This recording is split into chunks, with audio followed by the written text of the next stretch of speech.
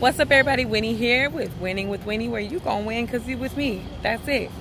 So, y'all, um, I didn't post yesterday like I normally do because I'm on vacation. I'm on a road trip with my three little kids. Three little kids, say hi. Y'all say hi. They're they're behind this thing. Okay, they're not even coming out. Um, anyways, yeah, we're on a road trip, so I didn't get to post yesterday because I was so tired. And when I say I was so tired, I couldn't even think straight. My mind would not function right.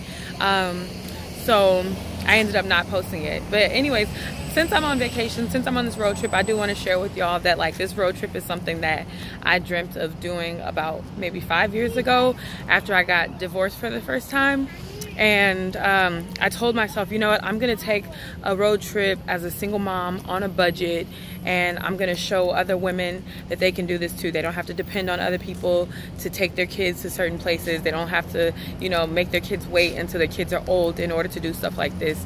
Um, so it, I didn't do it five years ago, but I did it now. I finally got it done. And now that I have it done, I'm super excited because we have been to one, two, three, four, five, five different states so far. And we stopped in most of the states except for, no, we stopped in all the states except for Mississippi. Um, but, and we're going to Mississippi too. Anyways, but um, we are going to Tennessee today and after Tennessee, we will be going to Missouri, then to Colorado, then from Colorado to Utah. So we're traveling pretty far and wide. And y'all, I am literally doing this on a budget. So my budget is a $1,000 for all of the travel. So for gas, for food, um, for hotel stays. If we do stay in a hotel we don't always stay in a hotel. There was one night that we slept in our ride our car and i really i really want to do it that way to where we just sleep in our cars and at rest stops but everything doesn't quite work out like that y'all. It don't quite work out like that. So um we ended up just getting a hotel last night because i was so so so so tired and i needed some real sleep. Um anyways y'all i'm just i'm really happy that i finally decided to do this and to all the single mothers out there whether your kids are old or young this is definitely something that you can do. Um, just putting aside literally like 50 to 100 dollars per month for anywhere from 12 to 24 months which you know 24 months is a long time but um, if you really want to do something then trust me you will put it away. You will keep it safe. You won't abuse the money. You won't misuse it, whatever it is. And you'll actually take a trip. And y'all, real quick, I learned about like saving for something you really want to do when I watched my sister have her wedding, okay? So my sister did a big wedding. I have never done a big wedding at all. Um, and, you know, I seen her with her board. She put money aside here or there until she, you know, got what she, it was that she wanted. And I was like, you know, I can do that too, but I'm going to do it for this trip with my kids. Now, I will be 102,000% honest with you. I was so nervous. I was like, I don't know if my car is going to make it. I don't know if I'm going to run out of money or not. But at, at, some point I was just like, I gotta stop making all these different excuses. I gotta stop being afraid.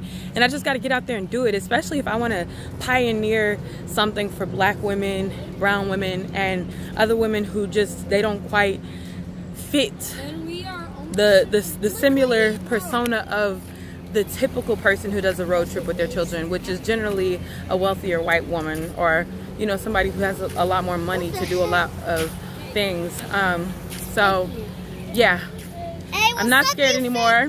I'm doing it.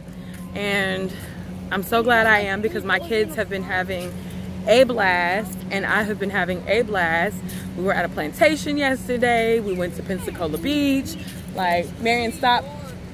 We did so much and it was just like, it was super fun. It's been super fun and I look forward to everything else that we're gonna be doing in the coming days.